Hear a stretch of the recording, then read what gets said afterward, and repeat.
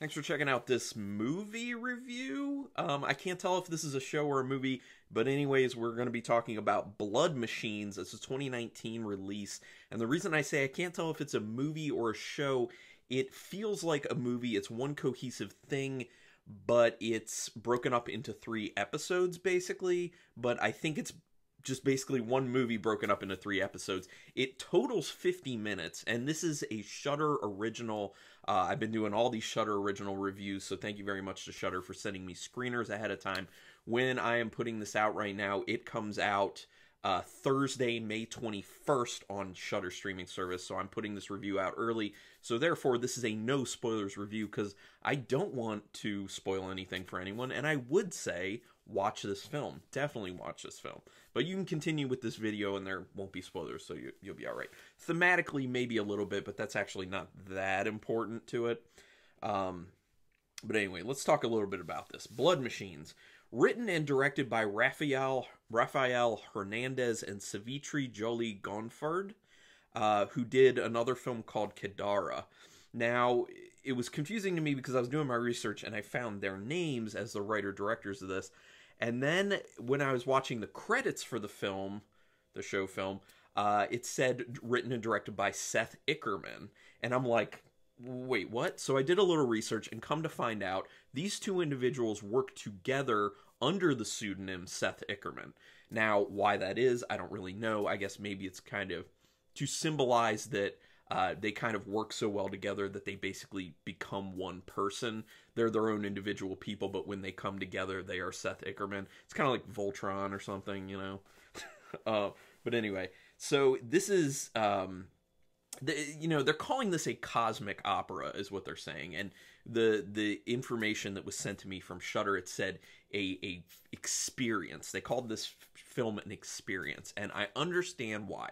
And I understand why it's called an experience. I understand why it's a cosmic opera because it is very heavily music driven. Now, the music is the music of uh, an individual I didn't know about until this, so I'm very thankful that I know about this now. Carpenter Brut. Now, he's a synth wave uh, musical artist from France who like I said, I had no idea about, but his music is really good and it works unbelievably well with this film, which, you know, it has to because this is basically all framed around that music. In fact, this film is a follow up to a music video that uh, Seth Ickerman did for uh, Carpenter Brut. Now, the music video you can check out. I watched it. It's called Turbo Killer. You can just find it on YouTube. Just put in Turbo Killer uh, music video uh, or Turbo Killer Carpenter Brut, but it's when you watch that and then you watch the film, a lot of the same imagery in it, the effects they look the same, the CG looks the same, a lot of the stuff looks the same.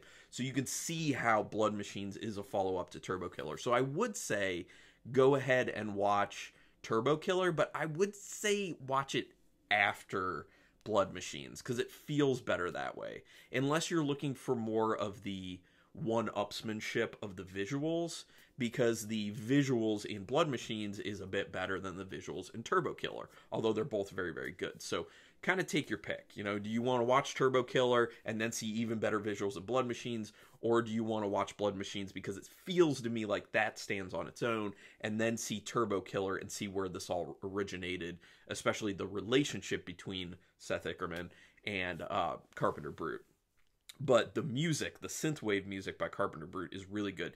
Now, a little bit of information on Car- Carpenter Brut, a little bit like his music. He mixes sounds from horror films, metal, rock, and electronic music to get his sound, and it works really well, especially for film. Like, I want him to continue working in film. I also would like to see more music videos by Carpenter Brut with Seth Ickerman directing. Yes, please. Now, Blood Machines was actually funded through Kickstarter, which is interesting, and they got lots of euros. I don't I don't know the conversion. You can look it up if you if you know those conversions. Um, yeah. So they said that the film was actually inspired by uh, the music of Carpenter Brut, obviously, and 80s films. And like I said, they're calling it a cosmic opera. And you will see why when you watch it. It's cosmic, it's in space, and it's very operatic because it's very musically driven. Uh, overall, it's 50 minutes uh, broken up amongst three episodes.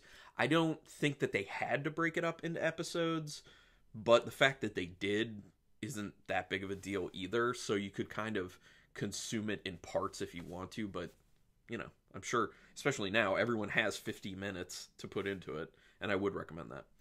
Um, so immediately, this thing looks amazing. Yes, the visuals are what this is all about. The visuals and the music, and both those things are outstandingly well done. Outstandingly well done. The CG in this is ridiculous, and the use of color is beautiful. Uh, and the color combinations that they use are just very, very pleasing. I would say that uh, people out there who talk a lot about the film Mandy and the visuals for that film, you will probably really enjoy this. I'm not a horror film or well film in general viewer who's all into just visuals and you know don't really care about story that much i really look for a lot of story and a good script and good characters and all that stuff so this film lacks a lot of character development. It has one dimensional characters. Uh, the dialogue's not that good. There isn't a whole lot of a story to it. There is some, but it's very simplistic. So, what it boils down to is this is all about visuals, it's all about the music, uh, and script is very much, script and story are very much secondary or tertiary or quadriary. I don't know. Um, if you're looking for a good story film that goes places, this is not that. Like it's not that. If you're looking for a really cool visual experience for 50 minutes, this is that. Now, like I said, I'm not that type type of person who typically for film looks for just a visual experience, but I have to admit I really enjoyed the visual experience of this. Uh, it does bother me a little bit that there's there isn't more substance to it, but like I understand going into it the way it's set up that it's all about the visuals and the music, and that ends up being fine to me you know it's weird because like I am not the biggest fan of Mandy because of how it is, but I think the biggest difference between these two is a I think uh, Blood Machines has better visuals than Mandy in my opinion. Just saying. And B, it's 50 minutes with a light script as opposed to Mandy, which is two hours with a light script. I can't take two hours with a light script and good visuals, I can take 50 minutes for sure with a light script and even better visuals. So that's kind of where the difference is for me. The set design and props for Blood Machines are really good too. There's so much detail. Like, and that's the thing, like, it moves relatively slow story wise, story wise, but it's, um, it's so visually appealing and it's not just the way the cinematography and the directing looks which is unbelievably good but it's like I said, the CG looks amazing. The use of colors looks so good. But even when you're not looking at that, you're looking at the props, you're looking at the set design because there's so much detail. It's all about detail in this with the visuals, so much detail. And it feels like it's all about detail with the music as well. The way Carpenter Brut puts his music together, very detail oriented. Like I said, directing and cinematography is really, really, really good. Um, there's some really interesting angles in this and really cool perspective shots in this. Uh, yeah, the uh, Seth Ickerman really knows cinematography, really knows directing. It's awesome. Um, there's a lot of extra detail added. Like I was saying, there was a lot of cool detail. One really good, um, well, there are two really good examples. So there's like this kind of like energy plasma gun thing because it's like in space, and it it has it puts off a lot of heat. So they even put in the detail of having you know how when there's a lot of heat, there's like a visual um, warping of how you see things. Uh, yeah, so they have that coming out of the gun, which you know they didn't need to do that, but that's a really cool detail and it looks really good. There's also a moment with the same gun where it's got like this green kind of plasma oozing out of the end and it's like neon. It looks visually amazing.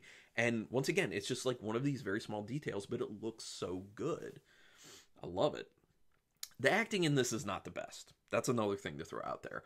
Um, in addition to the the dialogue not being that great and the script in general not being very good, the acting is not that great. Um, it's not terrible, but it's not good either. So just know that. But you know, once again, it's about the visuals, it's about the music, and that's okay. The film keeps you engaged engaged surely with uh sheerly, I'm sorry, sheerly with the visuals And part of that being is you just want to know where they go next with the visuals because they keep throwing things at you. They're not just showing you the same shots and the same colors and the same sets and props and um, angles and you know CG. They're not showing you the same thing over and over and over again. You know those things keep coming back, but it just keeps looking like new, new, new, new, new all the time, and that's what keeps you engaged. Uh, once again, the music is the, is so good. The best parts of it are the musical montages that they have because then it, it's kind of harkening back to the whole music video ordeal, and that's when it feels best, in my opinion, and looks best.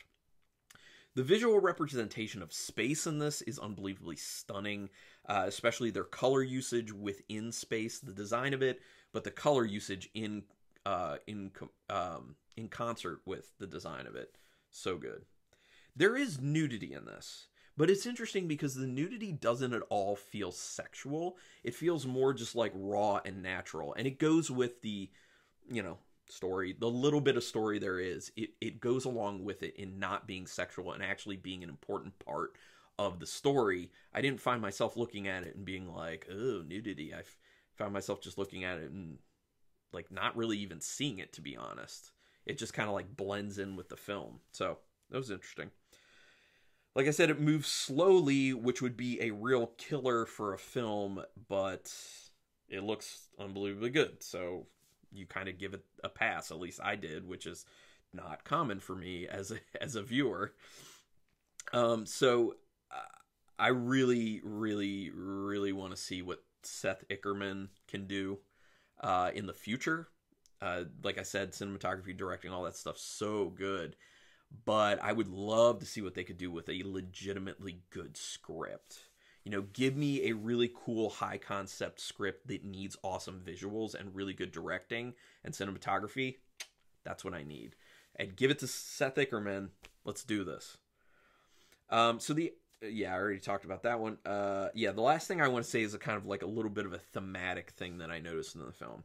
Um, there seems to be an underlying theme of women coming to greater power and influence from the fall of men and the libido driven desire to contain and control as an unchained woman feels dangerous to men to the men at least in this film.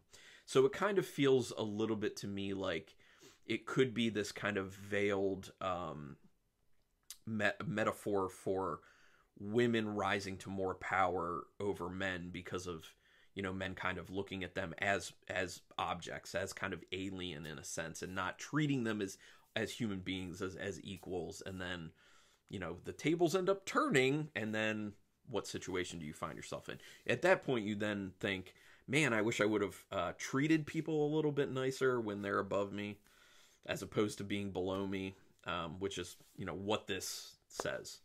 Uh, so it's it's interesting to look at it from that viewpoint but it's just interesting to look at as i've been kind of hammering home on this okay so um, I'm very, very interested to, to hear what people's thoughts on this film are. So, really put comments down there when you do see it, whether you've seen it before watching this or after watching this. Come and make these comments.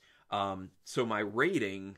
So, usually I would dock a film like this a lot more because of the script and the characters and the acting and all that. But it makes up for a lot with the visuals and the music. So, and the directing and cinematography. So, out of five stars with half stars in play, I'm going to give it a very solid four stars. I would say that people should definitely check this out, even if you're just going to watch it once because you're not a, you know, um, style over substance type person. Like, you know, same for me. But um, yeah, definitely watch it. At least give it one go. Uh, really like it. Worth watching. I'm. I could be tempted to watch it again. Actually, uh, that says a lot for me. So anyway, thanks for checking this out. Thank you again, Shudder, for all the screeners, especially this one because it was an experience. I really did enjoy it. So do me a quick favor, hit that subscribe button because I'm not making money or anything doing this, and that's your way to repay me. If you like anything I do, take that quick second, hit that subscribe. And if you want to know whenever I'm putting up videos or doing live streams, make, make sure you hit the notification bell because you'll find out that way put the comments down there. I want to talk about this for sure. If you're already subscribed, hit that like button. Just let me know you're still going with the channel. Like you're still checking it out. But regardless, thank you for checking this out. And until next time, keep it brutal.